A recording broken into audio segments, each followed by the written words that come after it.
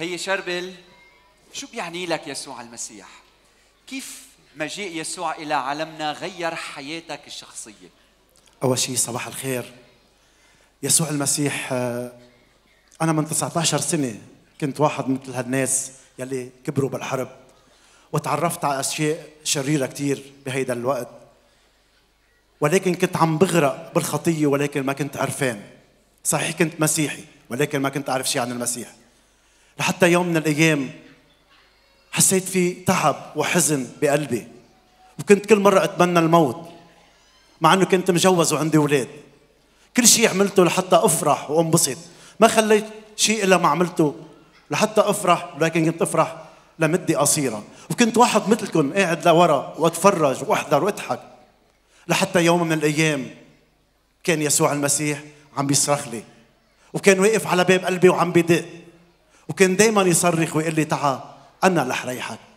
وفعلا يوم من الأيام اختبرت يسوع المسيح وفتحت قلبي وأنا بدي شجعك وشجعك إنك تفتحي قلبك وتفتح قلبك للرب يسوع لأنه هو موجود هو ناطرك هو منه بعيد هو عم يدق على قلب كل شخص فيكم بس عليك إنك تفتح قلبك ويدخل يسوع إلى قلبك وشوف هالسعادة وهالفرح وكيف حتحب يسوع ويسوع حيحبك ويخلصك من كل ضعف يلي أنت فيه. برجع لعندك اخ شربل أنت عم ترعى الكنيسة هلأ بالنبعه تحت. وهل عم بتشوف إنه يسوع بيوصل لكل الألوان والأشكال والخلفيات؟ هل يسوع هو للكل ولا يسوع هو فقط لجماعة معينة؟ اختبارك مع يسوع مش بس الشخصي اختبارك بالخدمة. كيف عم يعمل تغيير على صعيد الخدمة؟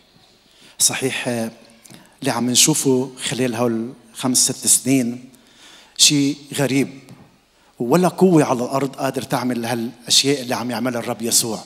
لما تشوف أشخاص من جميع الأديان ومن جميع الفئات من جميع الأعمار عم يجوا على الكنيسة ويفتحوا إيديهم للرب ويلقط كتاب المقدس ويوجه نظره صوب الرب يسوع المسيح.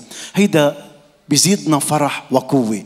عن جد قديش كنت استغرب إنه أشخاص صعب كتير يجوا لعند الرب يسوع ولكن ما في شيء صعب عند الرب يسوع المسيح. ولكن لما تشوف أشخاص من جميع الأديان عم توقف حد الصليب وتفتح الكتاب المقدس وعم تقرأ بالإنجيل حياتهم عم تتغير. وأنا بدي أدعيك يا خيي جرب.